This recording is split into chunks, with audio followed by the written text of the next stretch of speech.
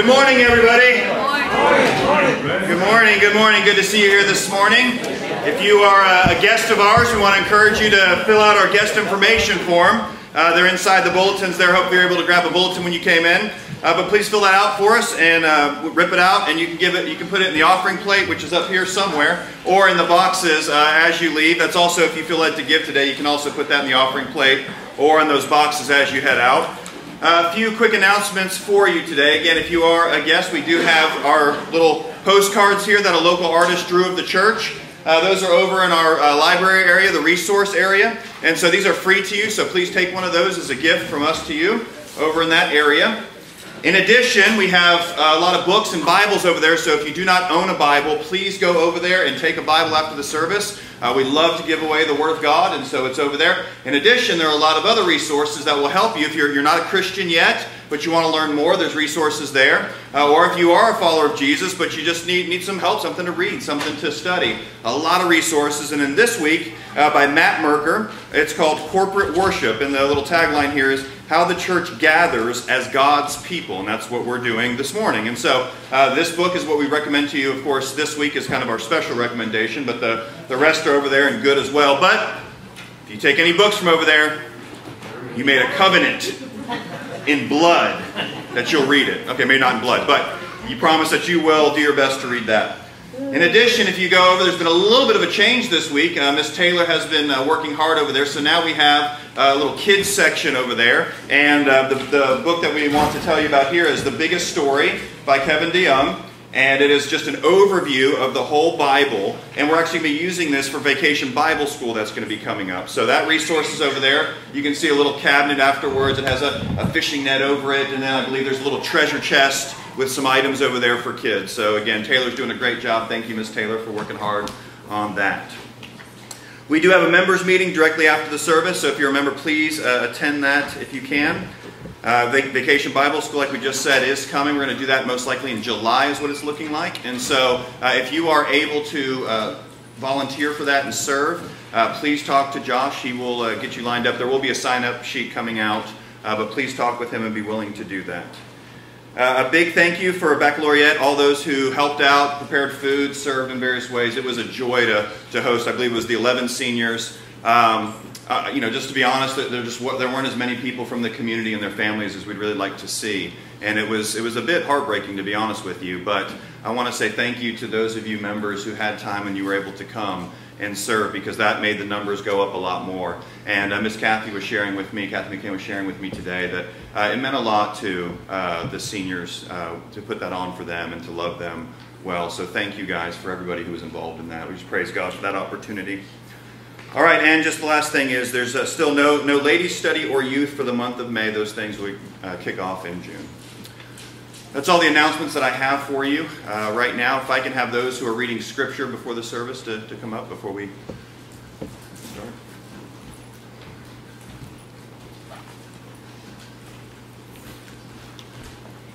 These brothers are going to read uh, one passage out of the Old Testament, one out of the New Testament and then pray for our time together. So if you're able and willing, please stand for the reading of God's Word.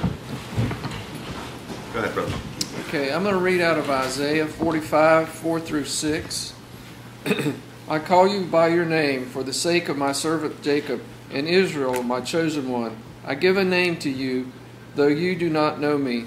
I am the Lord, and there is no other. There is no God but me. I will strengthen you, though you do not know me so that all may know from the rising of the sun to its setting that there is no one but me. I am the Lord, and there is no other. Amen.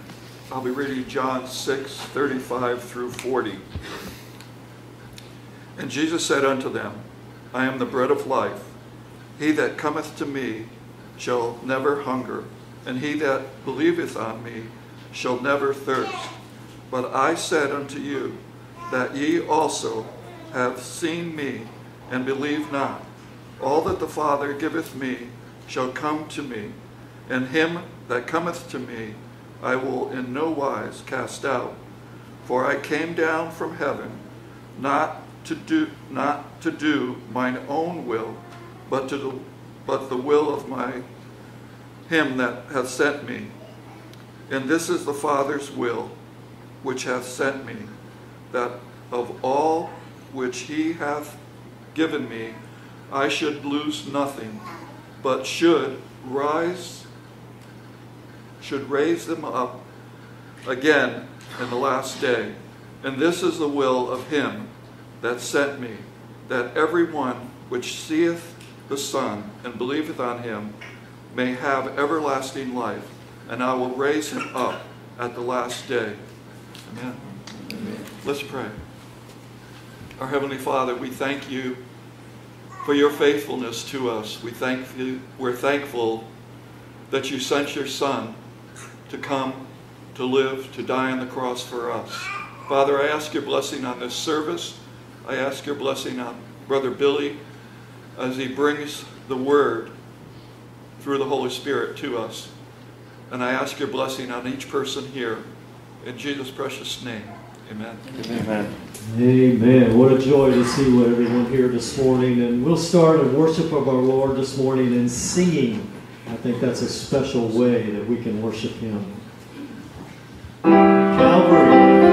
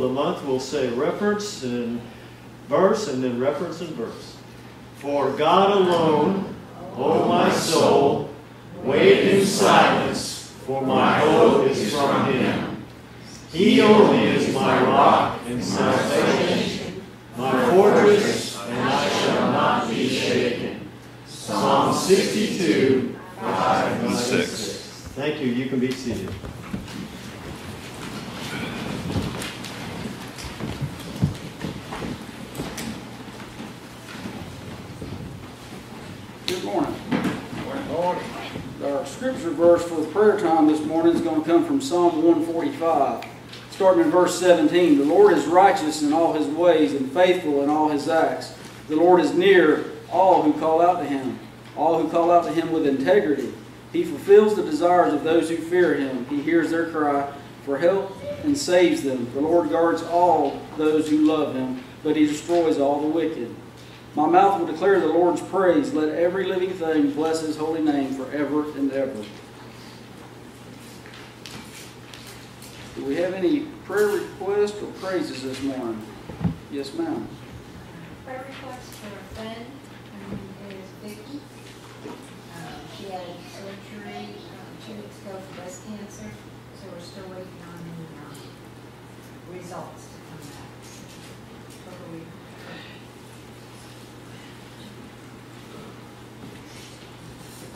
Yes, ma'am. praises for Lady Sadie. She had her first meal on Wednesday, they moved it up a day, she was doing so much better. But she's still got a long road, she will not, she'll be in the hospital until sometimes in July. But, um, you know, she- her problem was leaking intestines, and so they had to do a lot of abdominal surgery. So now they've got to go slowly and make sure she can eat and digest her food correctly, so. Yes, ma'am. Stevie. I have a friends, friends of mine that I haven't known, uh, we knew each other before, Stephanie was born in Scotland. We haven't had a chance to visit since all that time. We saw each other once in on them, but they're gonna be here for three days and we're gonna get a chance to visit and catch up. Randy and Janice.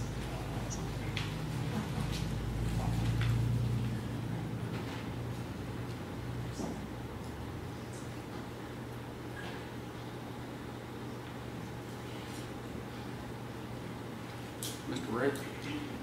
So I have asked for prayers for my daughter Rachel several times. Her husband left her about three years ago, and she's been praying and fasting, praying that he would come back. And uh, he came back this week, and he's living in the house. Uh, and I just said I would like prayers that he would come to the Lord. That would work out.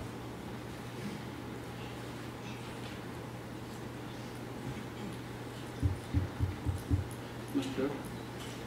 Yes, I got a call from Willie Watson yesterday, and he asked if we put a a very good and very old friend of his on the prayer list. His name is Dan Lindsay. Uh, Willie's just found out, and had talked to him, and found out he's got some apparently pretty advanced cancer in the brain and lung. uh, And in other places, uh, they don't know what the treatment may or may not be yet. Uh, if we pray for him, his family, loved ones. While we're it, we probably should lift Willie up in prayer. He's, uh, he's ninety-one years old now. And, uh, we could, uh, use some assurance and encouragement.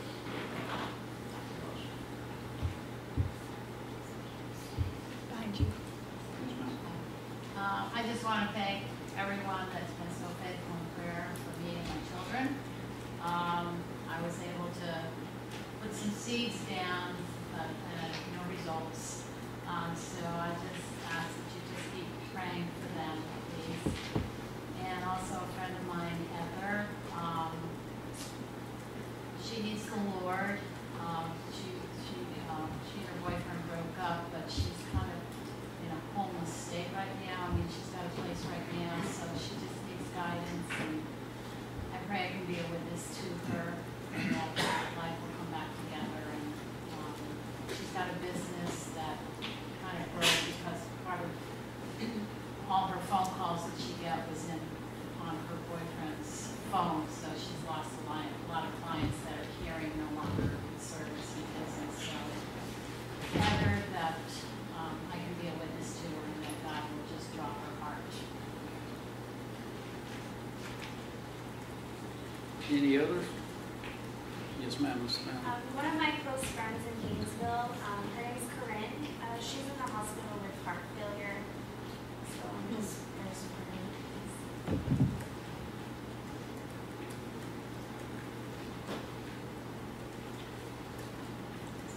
Yes, ma'am, There's a young man named Angelo who was an atheist, has found God, but he's fighting alcohol, and he's in rehab, and he's reached out for prayer.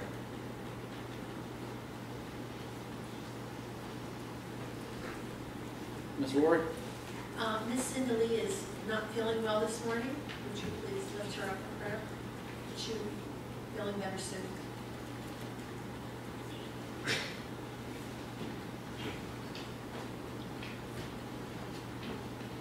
Mr. Tim?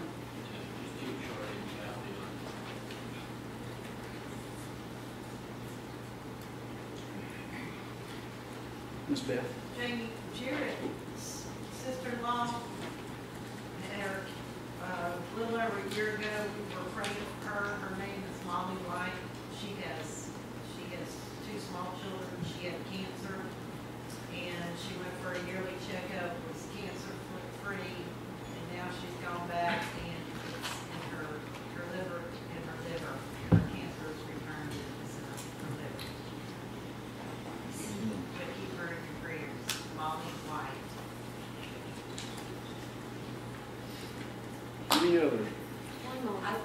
Oh, excuse me, Kim, I'm sorry, you go ahead. I'm trying to quit cigarettes. Please pray for me.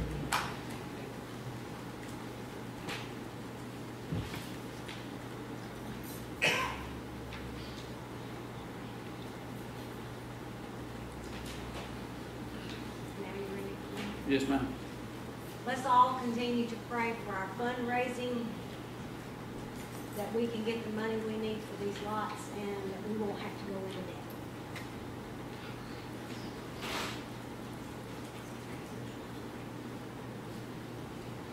Any others? Reverend Dominic, will you Jimmy?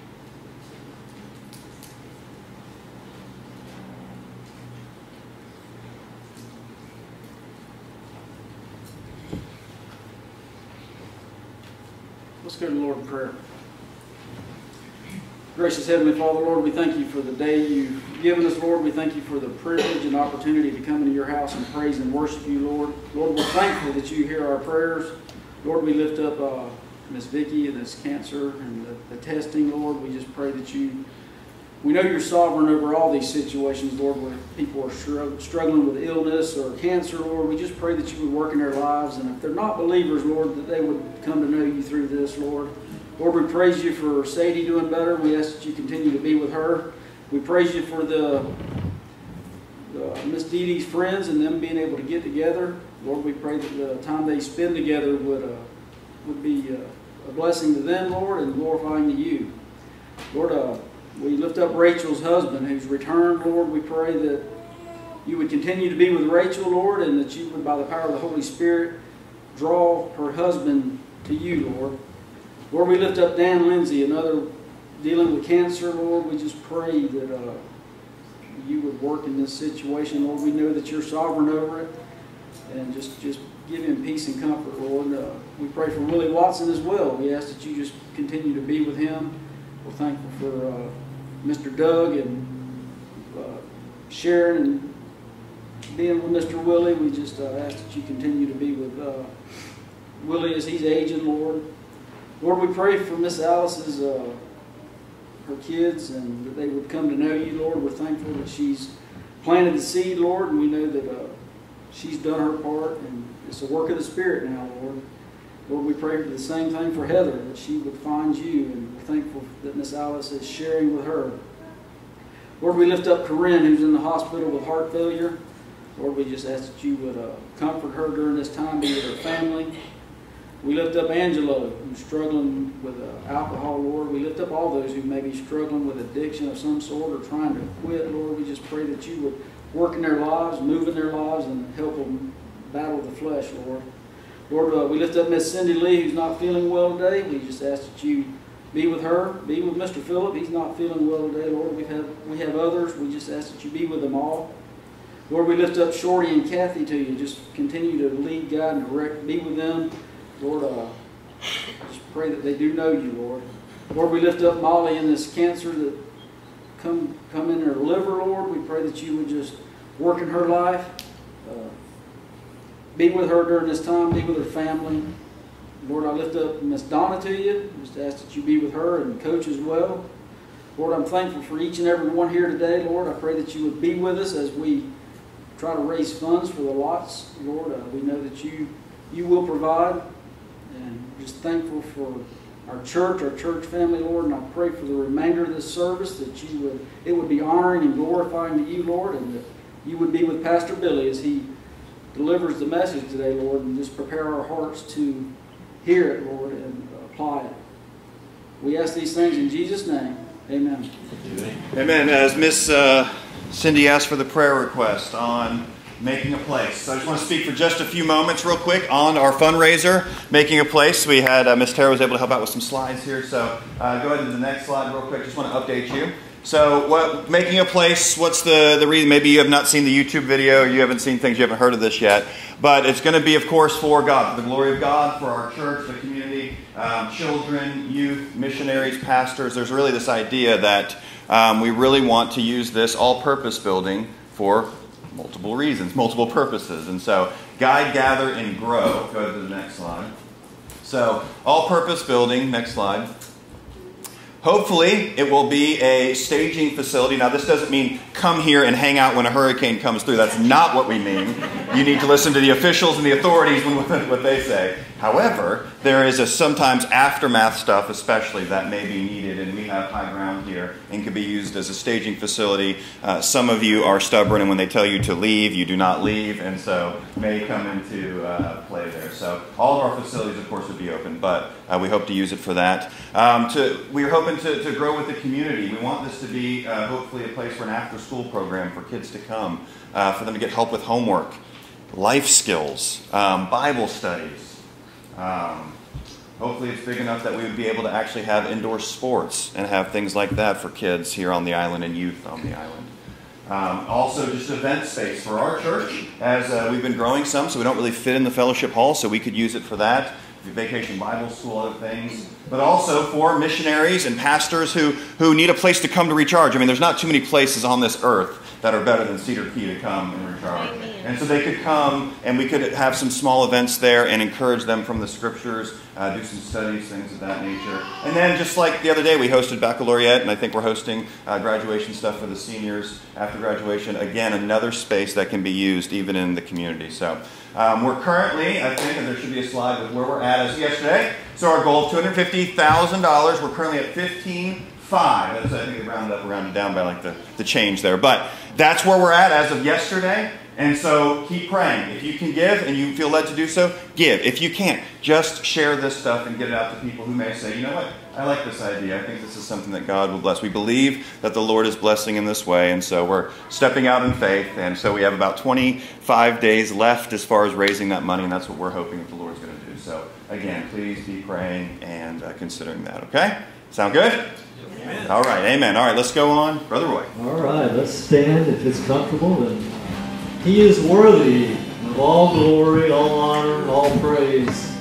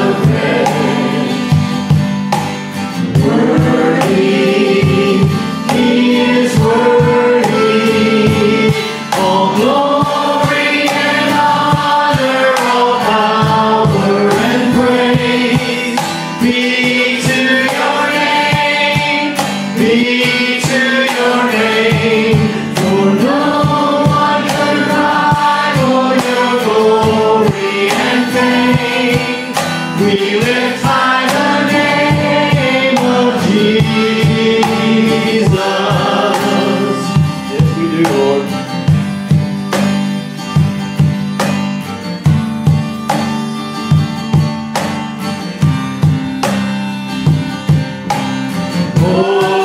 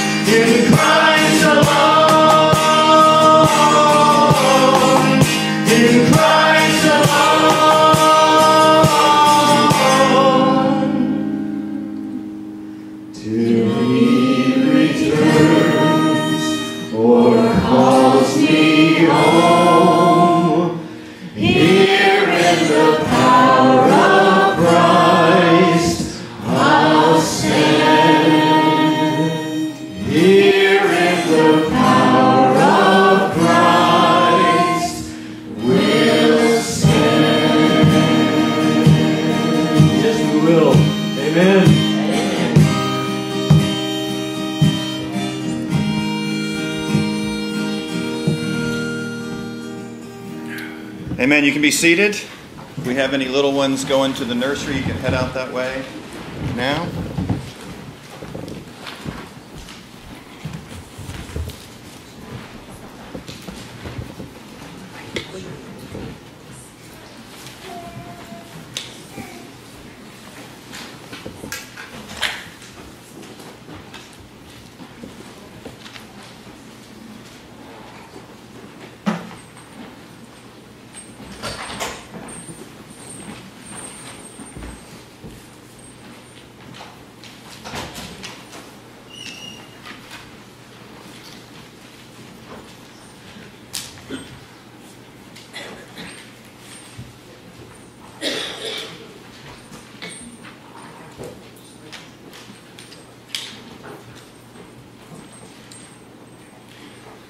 All right. We're going to be in Paul's letter to the church at Rome, Romans chapter 8. And uh, Lord willing, we're going to make it from verse 28 through a whopping verse 30. That's right. 28, 29, and 30. And we, part, we covered a little bit of 28 last week, so it's really like two and a half verses that I hope to make it through with you today. When you came in, you should have gotten a handout as well.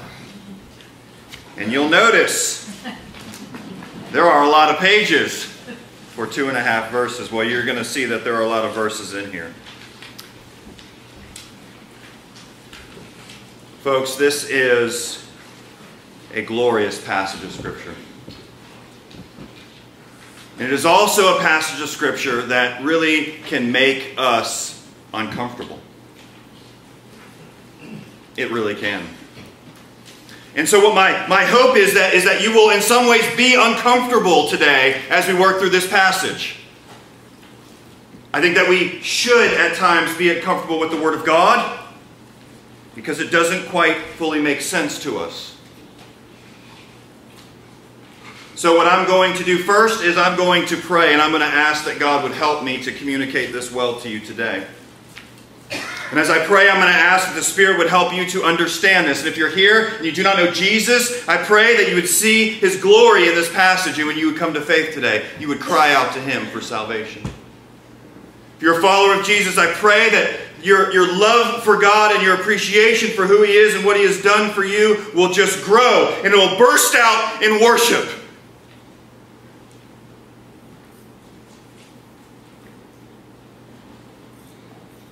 I am terrified to preach this text and excited to preach this text. So let's pray together and ask for God's help.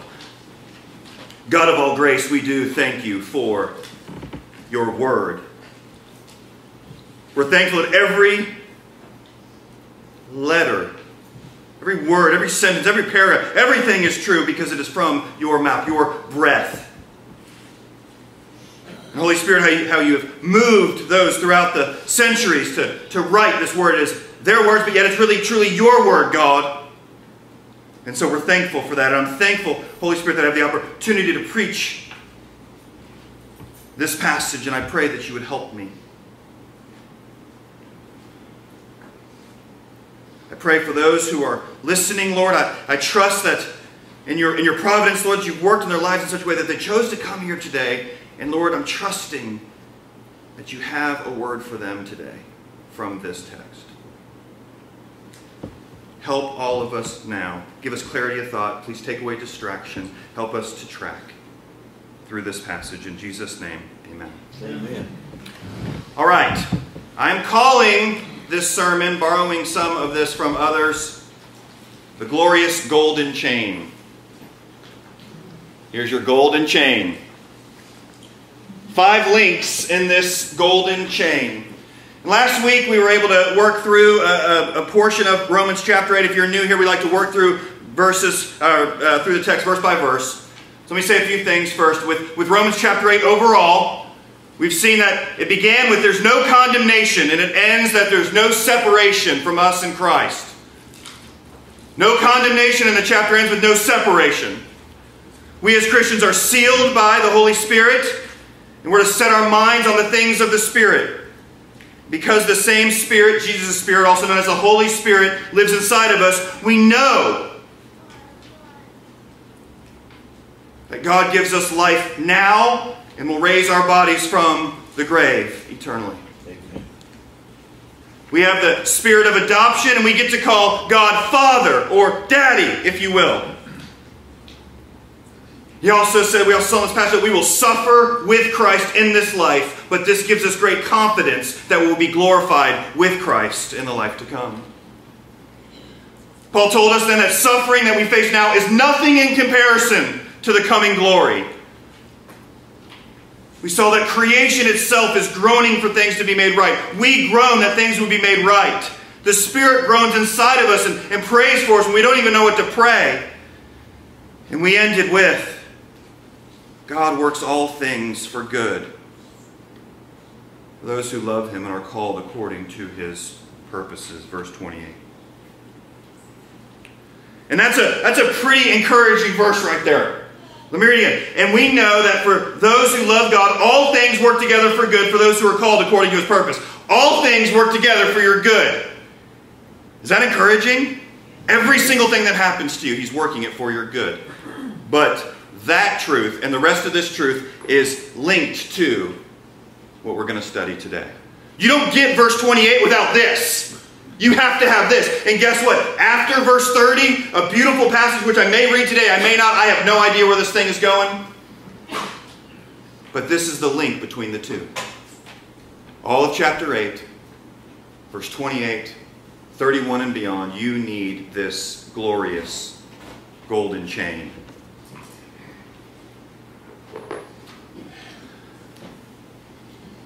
That's the only way this book makes sense, is with these couple of verses we're going to study today. So let me start with I have a, picture for you. For those of you who love math, I think Miss Susan will be able to pull. There you go.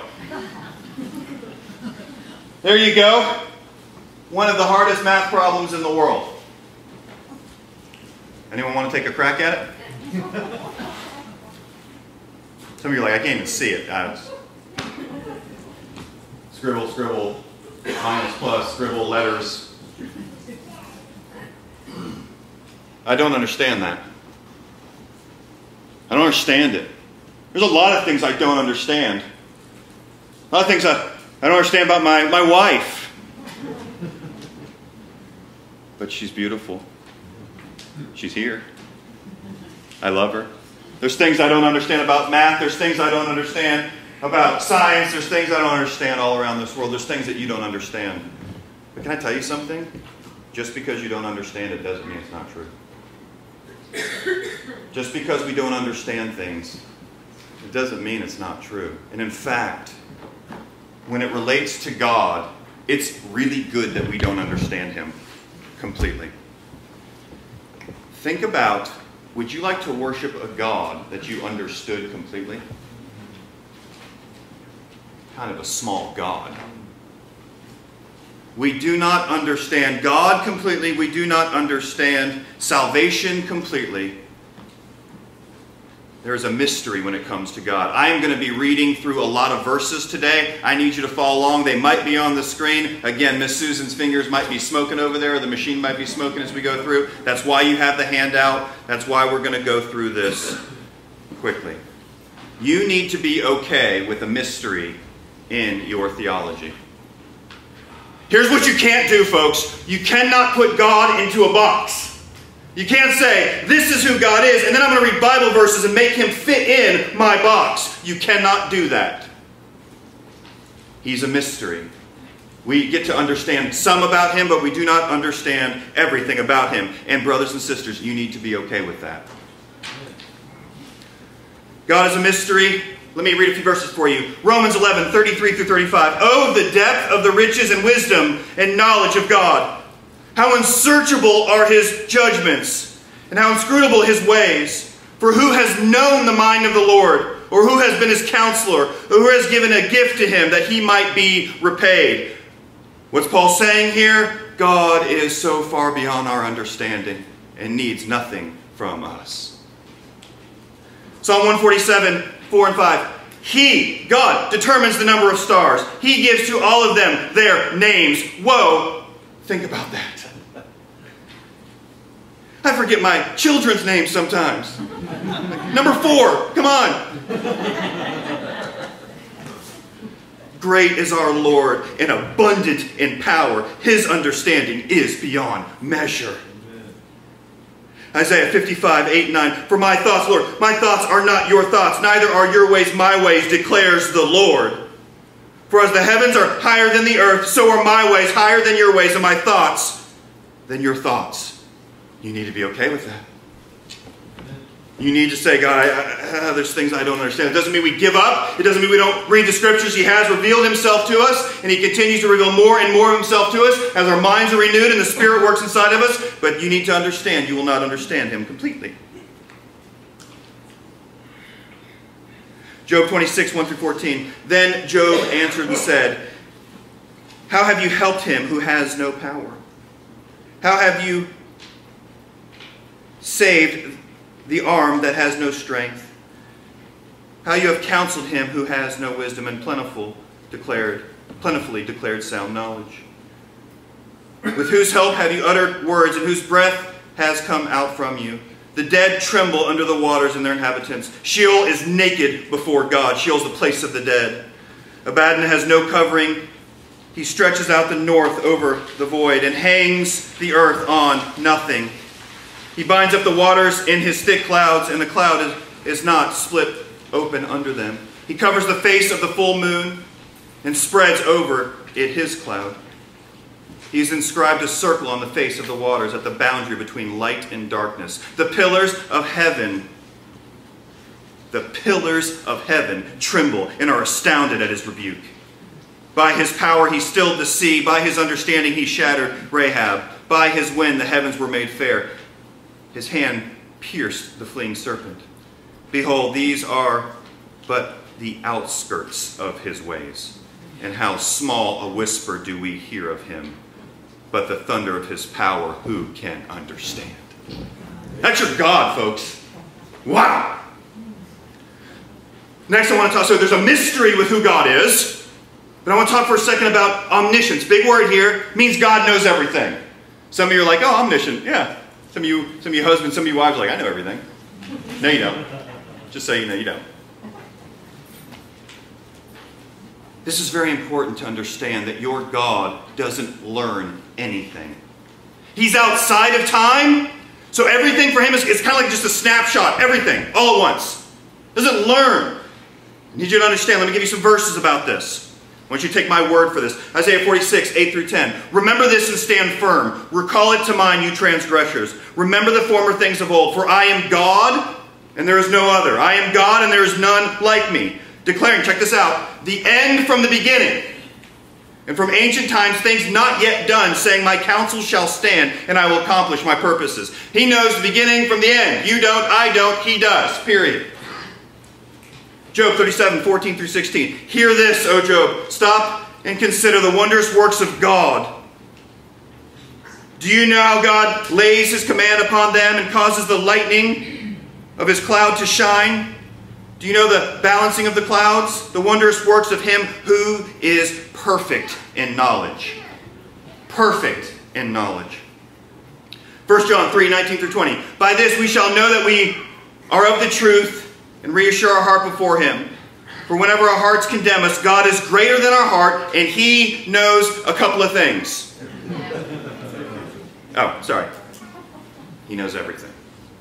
Revelation 1 8. I am the Alpha and the Omega, says the Lord God, who is, who was, and who is to come, the Almighty. There's nothing else there, folks. That's everything. He's over everything. He's the first and last. Psalm 139, 16 through 18. Your eyes, the psalmist speaking, your eyes saw my unformed substance. In your book were written, every one of them, the days that were formed for me. And God's book, every single day, was written. When as yet there was none of them. Before you even started, all your days were written in His book. How precious to me are your thoughts, O God. How vast is the sum of them. If I could count them, they are more than the sand. I awake and I am still with you. Psalm 90, verse 1 and 2. Lord, you have been our dwelling place in all generations before the mountains were brought forth or ever. You have formed the earth and the world. From everlasting to everlasting, you are God. You know how far long everlasting is? Get it? Yeah. Psalm 93, 1 and 2. The Lord reigns. He is robed in majesty. The Lord is robed. He has put on strength as his belt. Yes, the world is established. It shall never be moved. Your throne is established from of old. You are from everlasting. Job 21, 22. Will any teach God knowledge? See that he judges those who are on high.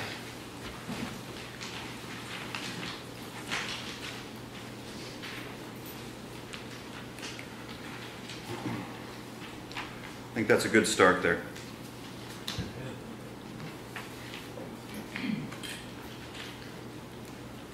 I hope you can understand from those passages that your God is everlasting. Your God knows everything perfectly all at once. There's nothing that he does not know. All that plays into this passage. You have to believe that to understand this passage. Let me read through the passage now and we'll work through it verse by verse. I'm just going to read starting in 28. Romans 8 28. And we know that for those who love God, all things work together for good for those who are called according to his purpose. For those whom he foreknew, he also predestined to be conformed to the image of his Son, in order that he might be made firstborn among many brothers. And those whom he predestined, he also called. And those whom he called, he also justified. And those whom he justified, he also glorified. Your five links in the chain.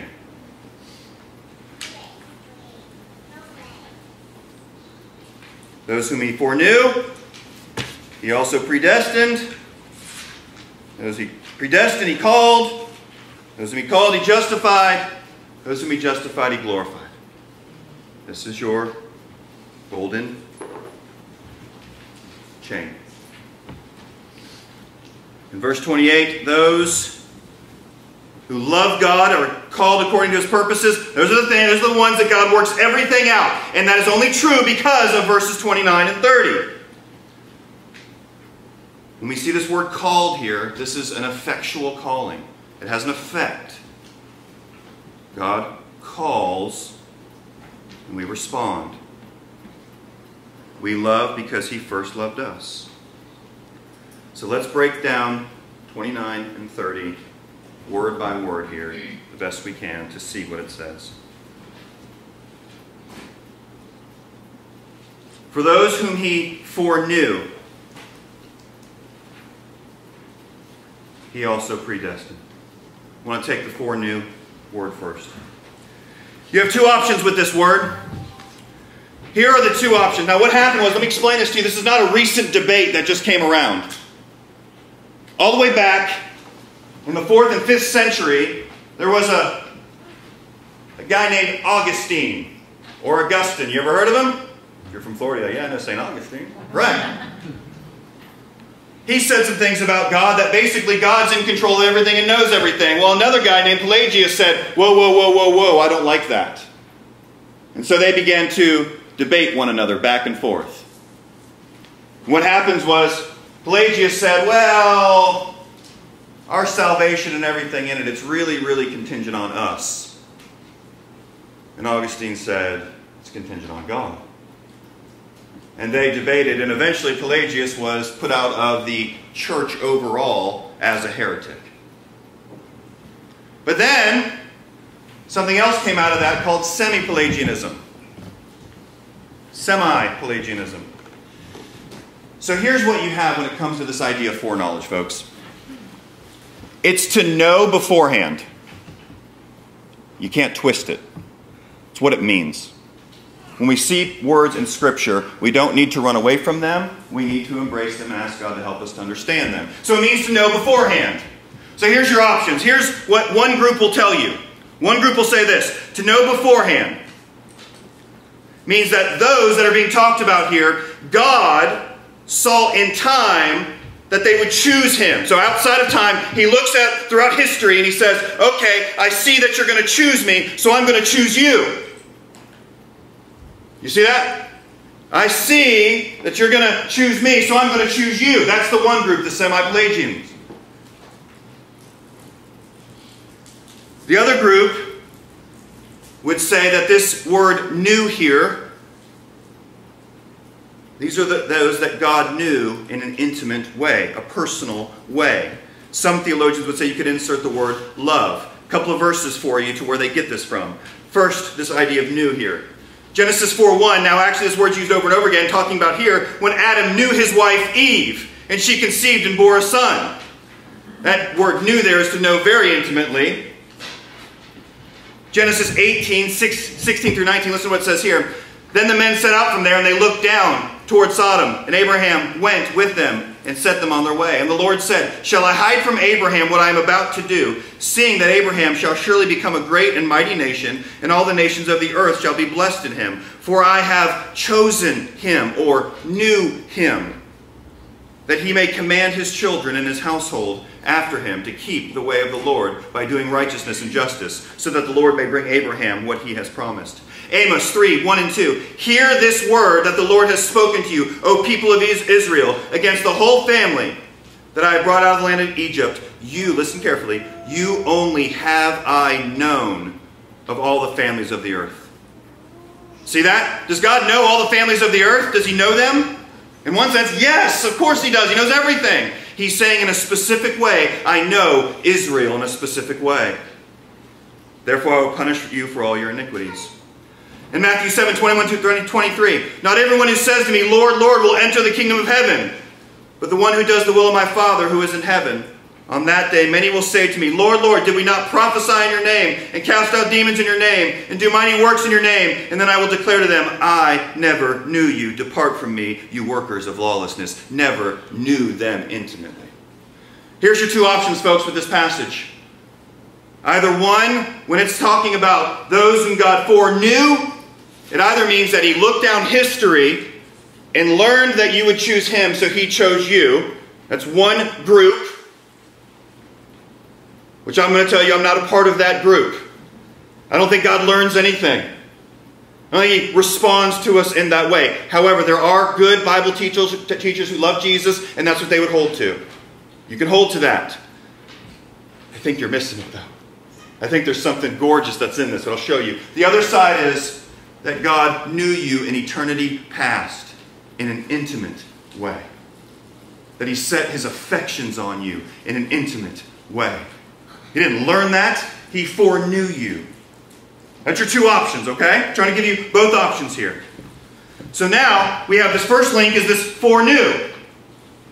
So what happens to those who foreknew? These are your two options. You're either he did it by looking or he just always knew it, okay? Here we go. But now what happens after that? For those he foreknew, he also predestined. Again, that word, how many of you just start to go, uh, I don't like that word. Predetermined. You can't change the word, folks. It's what's in the Bible. It's here and it's other places. Don't believe me? 1 Corinthians 2, 6 through 9. Yet among the mature we do impart wisdom.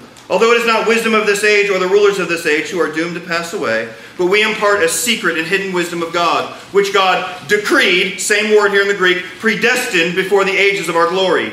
None of the rulers of this age understood it, understood this, for if they had, they would not have crucified the Lord of glory. You don't like that one? Ephesians 1 3 through 6. Blessed be the God and Father of our Lord Jesus Christ, who has blessed us in Christ with every spiritual blessing in the heavenly places, even as he chose us in him before the foundations of the world. Guess how long ago the foundations of the world were?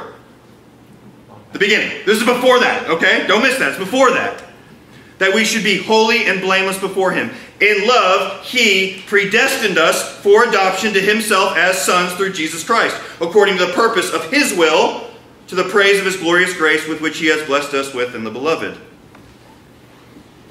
I'm going to leave Acts 4 for you to read on your own. So God, what Paul named, predestined, predetermined, either, here's where you have you get your foreknowledge, it's your two options here, either based upon what he saw or what he decided to do to conform you to the image of Jesus long before you ever existed he decided to do that.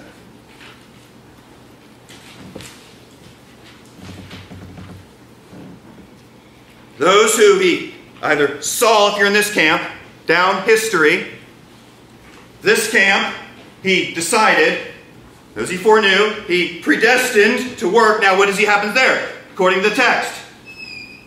Those he predestined to be conformed to the image of Son. What are you predestined to? To be conformed to Jesus in order that he might be the firstborn of many brothers. That way, Jesus would be the firstborn of many brothers and sisters. That's the plan. And those whom he predestined. Now I got the, our links here, right? Foreknew, predestined. Next link. For whom he, and those whom he pre predestined, he also called. I have on your notes here, I stated above, this is a specific special calling of, those, of God that He gave to those. Called them to respond to the gospel. If you're a follower of Jesus, you responded to the gospel. Don't check out on me, folks. I know this is a lot. Don't check out yet, and don't think for a second that there's no choice still. Don't get there. Wait. I know your head should have already exploded by now, but listen, give me a few more minutes. He calls. He calls. Next link, those who he calls, he justifies. Is everyone justified before God? No, right? But, but if it's linked to the, the calling and the predestination and the foreknowing, then they have to stay together. You can't say, well, this call was for everybody. If it was for everybody right there, then they would have been justified. They're not justified. This is different. This is a this is a way in that God is showing us something different. This doesn't mean that you do not have a choice to respond to the gospel. You have to respond to the gospel. It is your choice. But folks, these are two things that we do not understand, kind of like that math problem. And how to fold fitted sheets. We don't understand some things. But as Charles Spurgeon would say, these things are not enemies of one another. Choice and the sovereignty of God are not enemies of one another. They're a match made in heaven. I don't understand it all, but I'm not going to change what I see in the Bible to try to fit it. This is what God is doing. And it's a point to all of where this is going. He foreknows, He predestines, He calls, He justifies. Now look at what it says next. And those whom He justified, He also, what does it say? Glorified. Remember we talked about glorification? That's something that's coming, right? What does it say here? It's already happened. The Apostle Paul here is writing and saying, this thing is so certain that he talks about it in a completed way. Now, how does that fit in? Why does this even matter? Why does this even matter, Paul? What, does it, what difference does it make? It's in the scriptures that matters. What's the context that we've been working through, folks? These are people who are doubting, perhaps, God's love for them. This is an evangelism passage, folks. This is a passage to give you assurance as a believer. Amen. That's what this passage is about. These people are facing persecution. Remember, they're, they're, all these bad things are happening. God says, I'm going to work all these things for your good. How do you do that, God? How do you do that? Because I've been working on the plan since before anything started. I've had the plan since eternity past. I wrote your name in the Lamb's book of life before anything was ever even written, ever even spoken. He says, How do you, how do you know that I'm going to work everything for your good? How do you know that I'm going to care for you? How do you know that no one can ever condemn you? That you can never be separated from God? How do you know? Because if you've believed in Christ, you are glorified. That's connected to because you were justified. That's because God called you. It's because He predestined you. It's because He knew you long before you ever even existed. So you should not fear and should not doubt. Amen. Does it make sense? It's hard. I get it. It's hard. But God's knowledge is perfect. And I'm going to say that again, there are good brothers and sisters who would, who would hold to this idea that God looked down and saw that you were. Here's what I'm going to say to you you need to wrestle with this passage.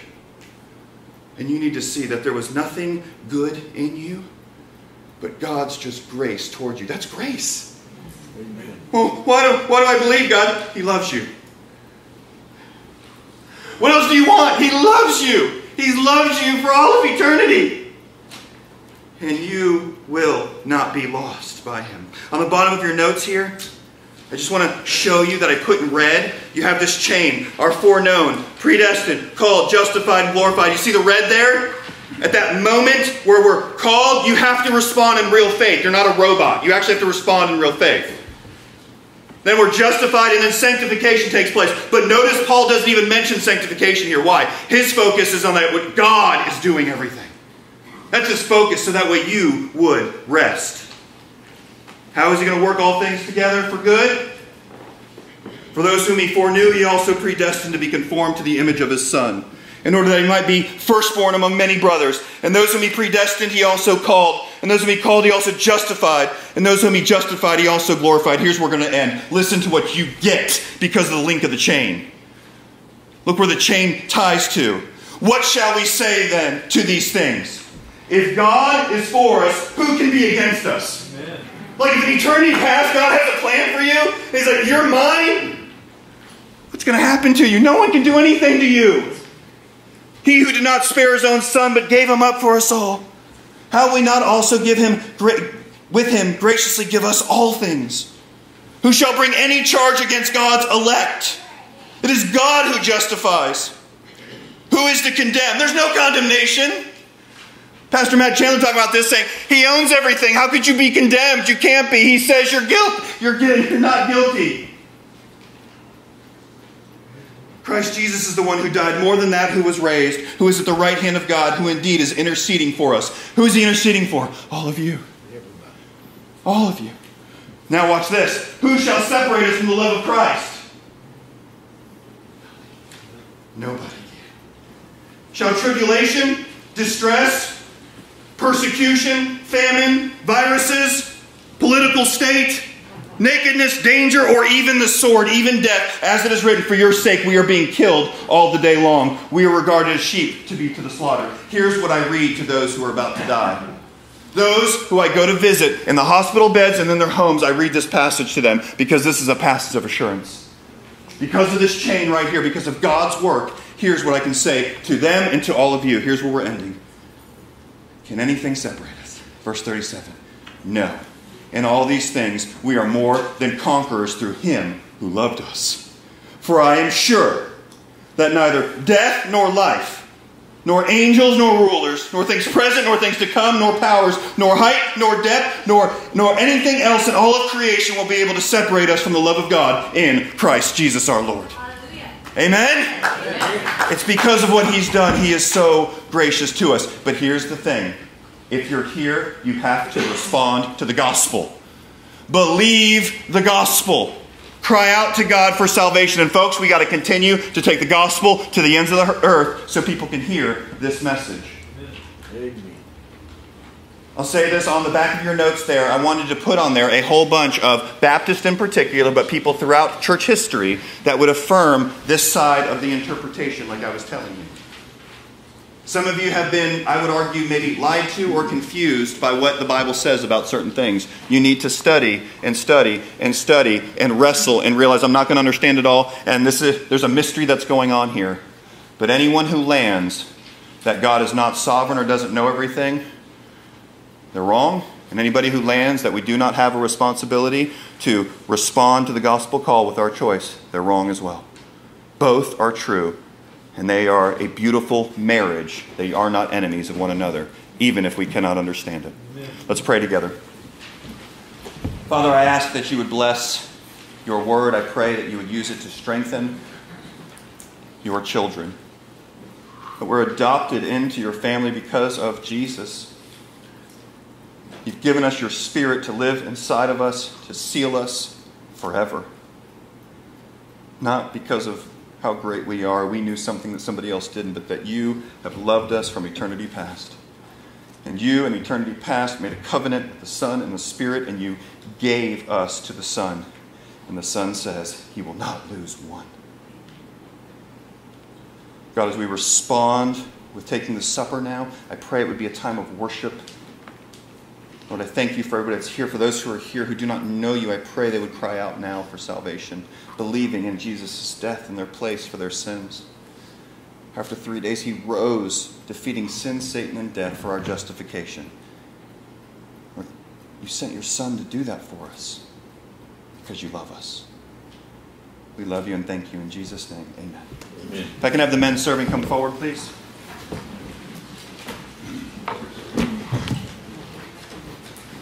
They're going to start passing it out right away for you here. And as they're passing out the bread here, go ahead and take time and ask God to search your heart to make sure you don't have any sin in your life. Unrepentant sin that you need to confess to God. Maybe if you have somebody in here that you have an issue with, you need to go to them. Go ahead and do that. Take some time now we pass this out.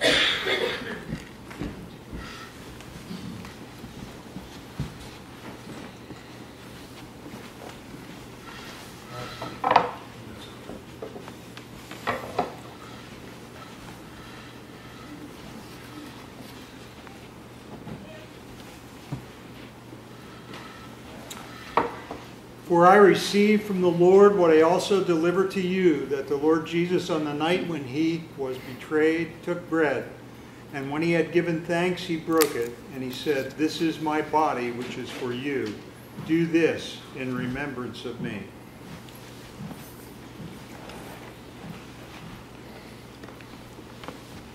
All right, as they pass out the cup, if you feel led to do so, read scripture over the congregation.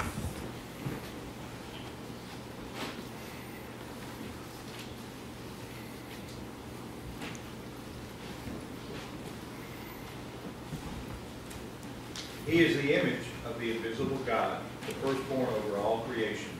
For by him all things were created, things in heaven and on earth, visible and invisible, whether thrones or powers or rulers or authorities, all things were created by him and for him. He is before all things, and in him all things hold together. And he is the head of the body, the church. He is the beginning and the firstborn from among the dead, so that in everything he might have supremacy. For God was pleased to have all his fullness dwell in him, and through him be reconciled to himself all things, whether things on earth or things in heaven, by making peace through his blood shed on the cross. Thank you, brother.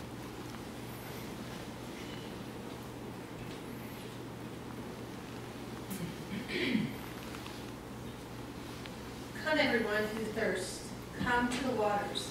And he who has no money, come, buy and eat. Come, buy wine and milk, without money and without price. Why do you spend your money for that which is not bread, or you or your labor for that which does not satisfy? Listen diligently to me, and eat what is good, and delight yourselves in rich foods. Incline your ear and come to me. Hear that your soul may live, and I will make with you an everlasting covenant. My steadfast, sure love for you. Thank you, sister.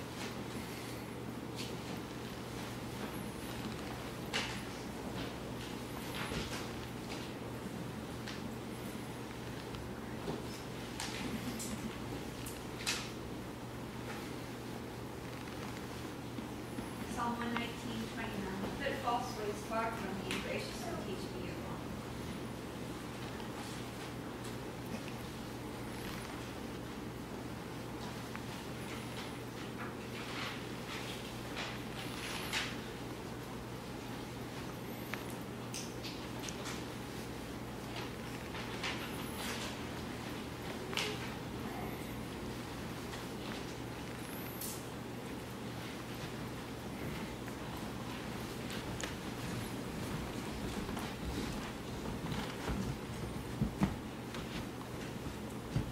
Psalm 72, 18 through 19.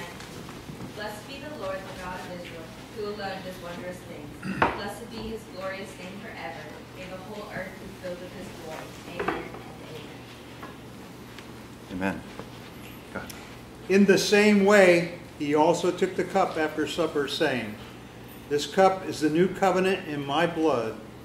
Do this as often as you drink it in remembrance of me. For as often as you eat this bread and drink this cup, you proclaim the Lord's death until he comes.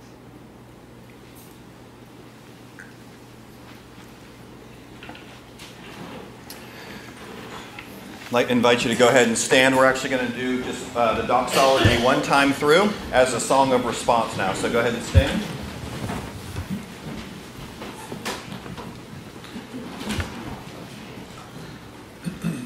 Praise God from whom all blessings